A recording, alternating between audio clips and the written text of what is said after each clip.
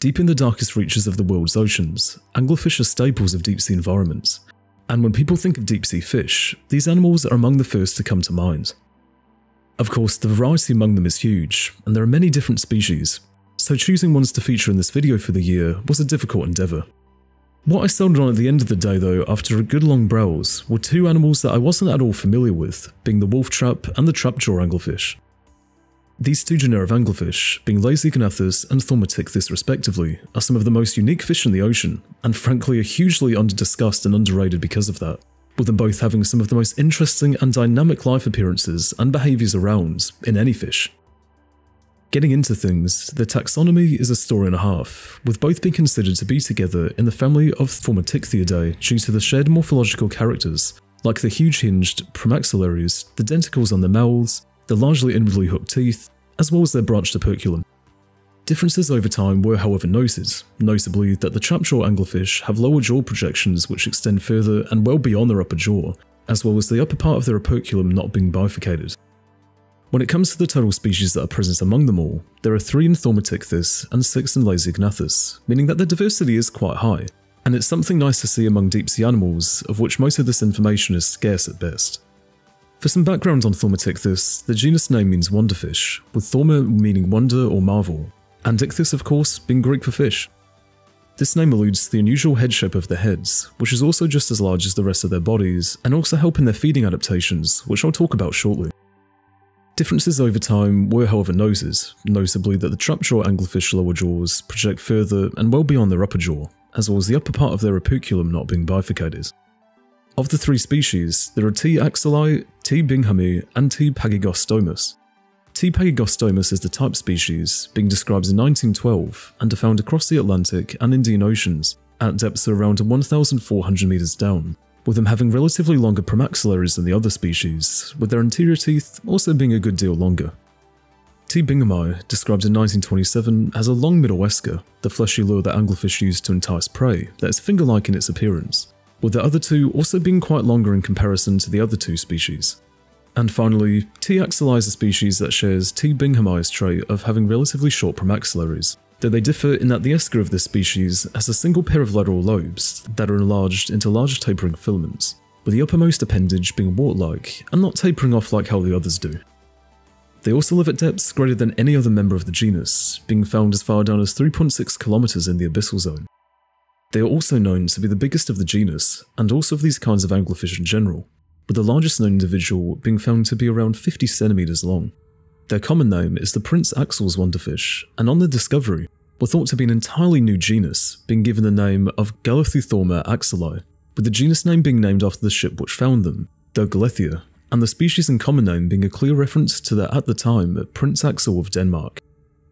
The people who described this fish were aware of T. pagidostomus, though didn't consider this newly found fish to be in the same genus since T. was a much smaller animal and only around 8 centimeters long.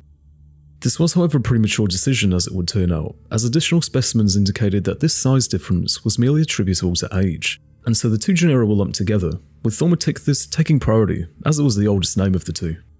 When it comes to their habitats, they range across tropical oceans worldwide, though specifics are often hard to come by.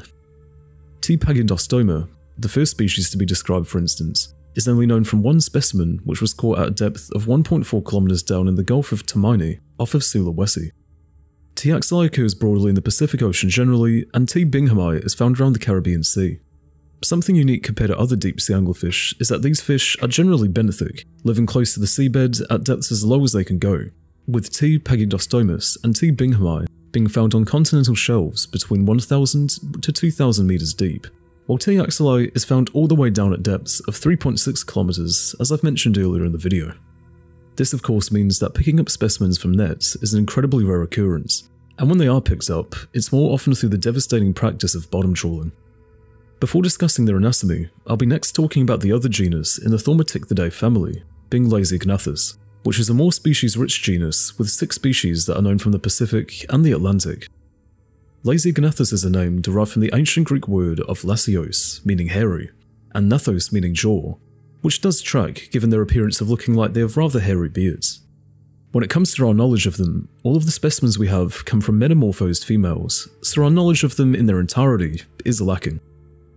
What this shows though is that just like other anglerfish, there is evidently the typical extreme sexual dimorphism taking place, where the males are much smaller and, when they mate, where the male is subsumed into the female for reproductive purposes. Species-wise, the six that are known are found around a wide variety of scattered localities in the Atlantic and Pacific, and each have their own little quirks that make them all special. The first describes was L. saccostoma in 1925, then being named by English ichthyologist Charles Tate Regan from a specimen found in the Caribbean Sea, with this individual being found 98 kilometers northwest of Negril, Jamaica, collected from a depth of 2,000 meters. Their specific name of saccostoma combines the word sacos, which means bag, pocket, or pouch, with stoma meaning mouth, which is a reference to the large membrane that assists in food capture, which then connects to their large premaxillaries. They also have three large escal hooks on their heads, with there being a further distinguishing trait in their case of being darkly pigmented, and are also the smallest species in their genus, with the largest adults only being a tiny 7.7 centimeters long. The second to be described species, L. beebei, is named after American naturalist William Beebe, who is an instrumental founder of the field of ecology as well as one of the foremost advocates of conservation in the 20th century. He really deserves a whole video of his exploits, but one other thing that he is also remembered well for was the several hypotheses he had on avian evolution, which was well ahead of his time, namely his 1915 hypothesis of the Tetrapteryx stage, where he proposed that bird evolution went through a transitory stage, where their ancestors possessed four wings and were gliding animals, something we now see in the known fossils of Microraptorians. While we now know that such forms were not a transitory stage, as we now have a much more complete picture of avian evolution, this artistic depiction by Beebe is seriously quite astounding. In any case, I've rambled long enough about this dude, I can certainly save all that for a future video, so it's about time to get back on topic to talk about our good spooky friends, particularly the one which is named after him. The holotype of L. beebei was recovered near Nonsuch Island by Bermuda from a depth between 0 and 1,100 metres, really narrowing it down there guys, by Charles Regan yet again, as well as Ethelwyn Trewavas, another ichthyologist who worked at the British Museum. Along with being found here, they've also been found to have a decently wide range across the North Atlantic, also being found off of Oahu in Hawaii. The third to be described species was L. waltoni in 1972, with them being characterised by the position of a membranous crest on their escal bulb, alongside an extended cylindrical escal appendage at their tip. They are known from the Central Pacific, namely around the island of Oahu, where so far the only the holotype specimen has ever been recovered. Their specific name honours Sir Izaak Walton, who was the author of The Complete Angler, a book which was published in 1653 and is a celebration of the art and spirit of fishing. The fourth species is L. intermedius, described in 1996, with the name being an allusion to the morphology of the Resca, being in an intermediate form between that of L. beebei, L. saccostoma, and L. waltoni. They are found across the Atlantic and Pacific Oceans, being found from Newfoundland to South Carolina and Bermuda, as well as being found all the way down in South Africa. Continuing on, L. amphirhamphus was described in 2005 and is characterised by only having two as compared to three bony hooks on the Resca, along with a long prolongation at the end of the main appendage which has six small filaments at the end. L. amphirhamphus is also the largest known species of the genus, with the largest specimen being about 15.7 centimeters in length, which is quite respectable. And then for the sixth and final species, L. dinema was described just 10 years ago in 2015, with them being unique in having an internally pigmented escal appendage that is paired alongside two elongated distal appendages. With all of the different species covered, it's now time to talk about what makes these fish truly unique, and that is their extremely interesting mouth anatomy. These fish have huge premaxillaries, where the upper jaw is big enough to extend well beyond the much shorter lower jaw, they have a wide membrane which connects them to the head, and this is what helps them in holding their prey once caught. Both premaxillaries are hinged with the upper jaw so that they're able to flip down and up, and the sheer size of them means that prey can be captured without the lower jaw, which in turn frees them up to continue respiring while they restrain their food. Over time, their lure apparatus has also gone through some revisions in terms of what it might be used for, with William Beebe speculating in 1930 that said apparatus might be, quote, be cast swiftly ahead when then the hooks and the lights would so frighten any pursued fish that they would hesitate long enough to be engulfed in the onrushing maw, end quote, though other researchers have since considered this unlikely.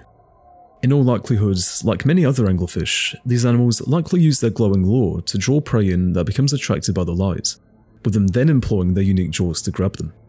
What they feed on specifically is also known from some of the gut contents, with bony fish like lanternfish and bristlemouths making up most of their diet, with them also taking amphipods, siphonophores, and chaetognaths to a lesser degree. One specimen of T. binghami interestingly shows that sea cucumbers are also on the menu, with there also being a piece of sargassum, a type of seaweed present as well. This could well suggest that they're omnivorous, but what is more likely is that they may well have incidentally swallowed this grass along with the sea cucumber that they ate, so it's more than likely accidental. Given these sea cucumbers are also very tiny, only being about 50 to 80 millimeters long, that is the explanation I'll go with. Whether or not these fish are parasitic is also unknown, though the structure of the jaws in male fish seems to indicate that feeding becomes impaired after the metamorphosis. So to conclude, there is still much we don't yet know on these animals, but given that they are so unknown, that also means there is still so much more we can learn about them. And that to me is one of the most fun and exciting things about zoology. There's always more to learn. All in all, I thank you for watching this video on these animals and that you may have learned something new. If you would like to see more from this channel, be sure to subscribe if you haven't already. And with that, I'll see you next time, whenever that may be.